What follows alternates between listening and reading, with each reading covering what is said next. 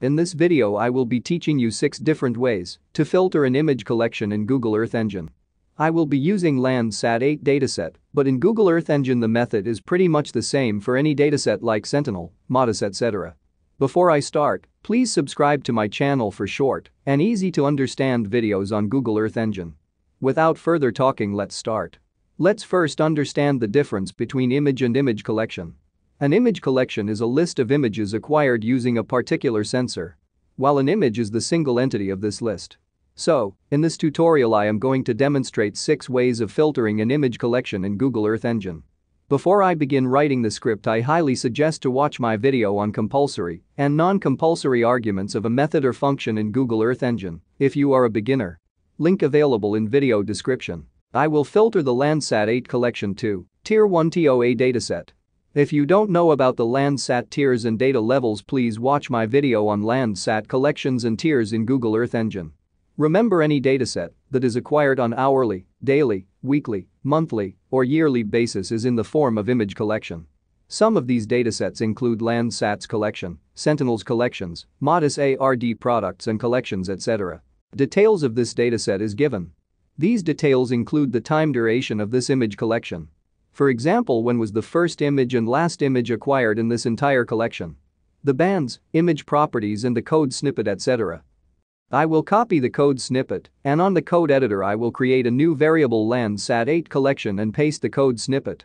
However, you can directly click on import this image collection too.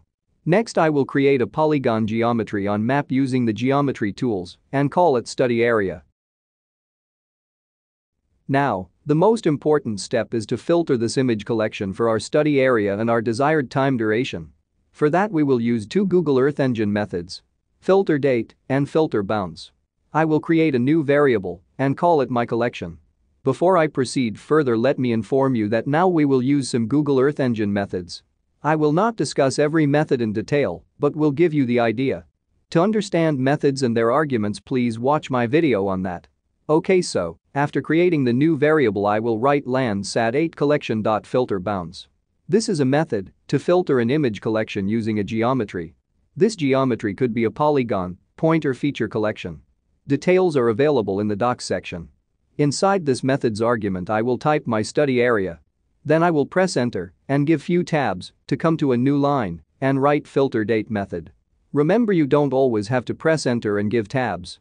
I am doing it because the code would not be easy to understand in a single line. Also this won't give any errors because this is JavaScript, not Python where each indent and space matters. Nonetheless, the date method requires from and to date in YMD format. These from and to dates are in the form of strings. Let's now print my collection.size method. This method tells the number of images for this particular dataset over the study area and time frame we gave above using filter bounds and filter date.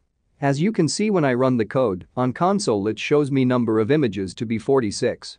Let's also print my collection without the size method to see what image tiles are there. On console if you expand this new filtered image collection, you will find all the image tiles and their IDs under the features. You will also find bands and other metadata of the images here. Let's filter the first image from our filtered image collection.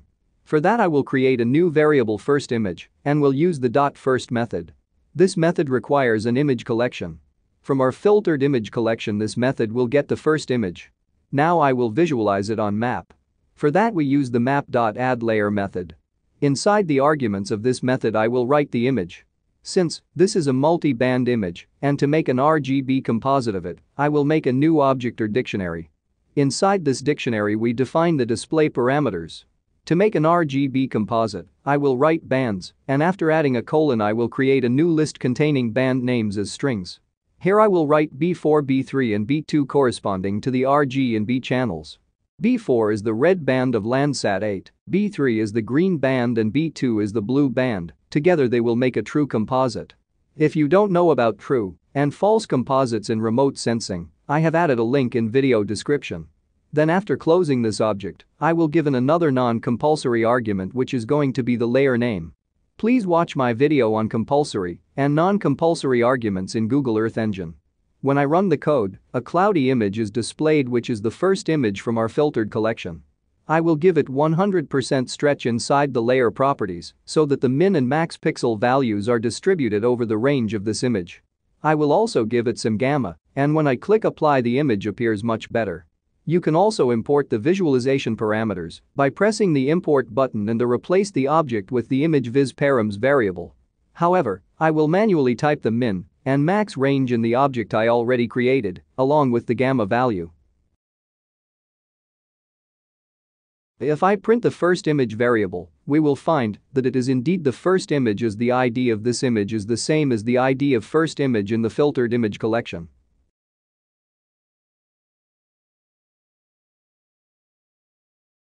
The second method to filter the image is by using the image ID. From the filtered image collection of 46 images, I will expand the features and copy the ID of any image. Then using the ee.image method, I will paste the image ID inside the argument of this method as a string. I will display the image once again using the same map.addLayer method and give the visualization parameters.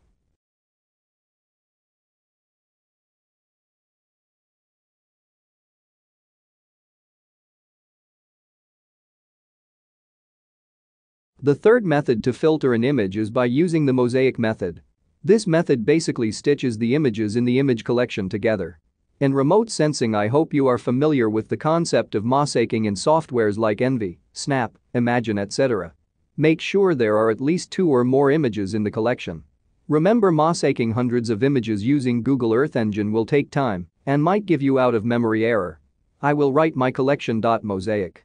Then I will display the mosaiced image once again using the same map.addLayer method and give the visualization parameters.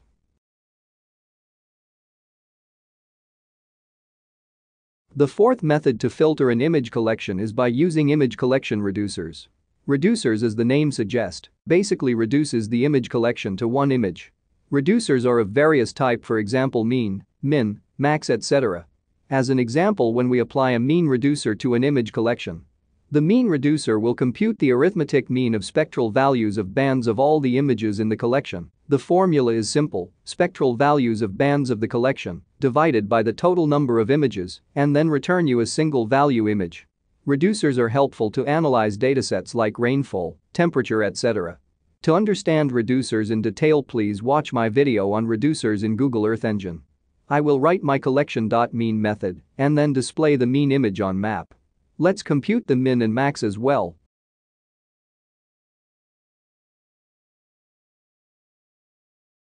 To compare the mean, min and max of the image collection at pixel level. I will select the band 4 from the mean, min and max images using the select method. Now that the images have a single band only we will use palette instead of bands, bands will give error as first it was composite. Now it's not. Palettes is a list of hexadecimal color codes of your preferred colors. The min and max range will be distributed according to the colors in the palette. I will provide link of hexadecimal color codes in the video description.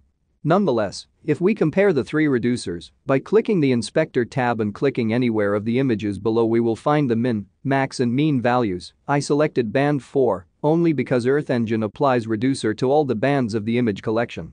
For example if there are two images in the collection and both have three bands. The mean, min or max will be computed for all three bands. Let me reiterate reducers are helpful with time series datasets like precipitation and temperature etc. The fifth method to filter a desired type of image is by using the image metadata.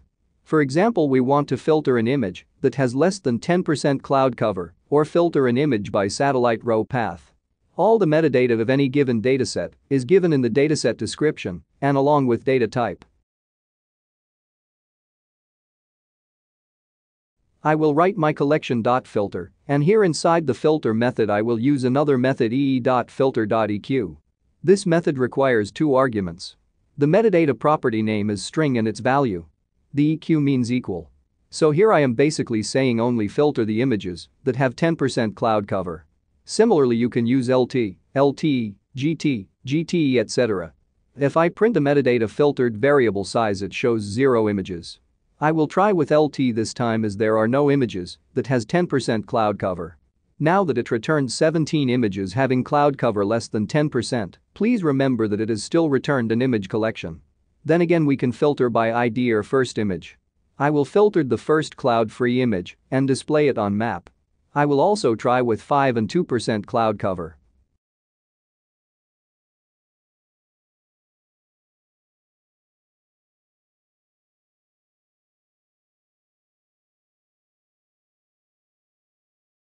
The final way to filter an image from image collection is by using the lister array index number. Remember index number and image ID are different things. For example I want to filter the 300th image from a collection of 500. Rather than scrolling the entire features on console and copying image ID of desired image, we will directly tell Google Earth Engine hey give me 300th image. Since the image collection Google Earth Engine has are in the form of GeoJSONs first we need to convert it to a list. We will use toList method. Inside the argument we will write convert the size or number of images also known as indexes to a list using the size method.